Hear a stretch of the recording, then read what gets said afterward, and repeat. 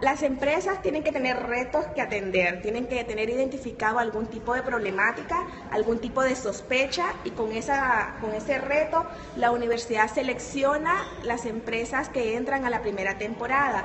La primera temporada dura 12 semanas, son encuentros semanales, ¿verdad? De tres horas y hay un modelo y una metodología que siguen las empresas. Eh, por las limitantes de recursos y de tiempo y dar un producto de calidad, cada temporada que equivalen a las 12 semanas, la universidad va a estar graduando siete empresas siete empresas y más de 50 estudiantes en cada proceso de, lo que es la investigación, de lo que es la innovación.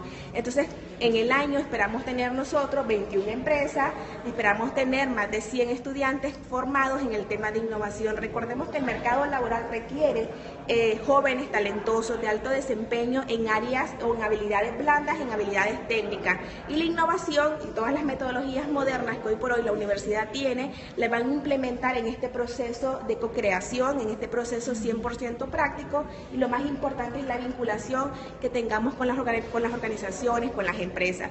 Es una convocatoria abierta, es una convocatoria gratuita, se atiende todo tipo de empresa de cualquier sector económico, lo que sí tiene que estar en forma legalizada, constituida en el mercado, puede ser de la zona urbana o de la zona rural, lo importante es que nos traigan retos importantes que atender, porque nosotros requerimos innovaciones realmente para el país que generen impacto. Entonces nosotros necesitamos realmente que los retos de las empresas eh, sean problemas eh, realmente que estén dando o que generen soluciones innovadoras, ¿verdad? Que generen este, nuevas soluciones y, y esas soluciones innovadoras ponerlas al mercado.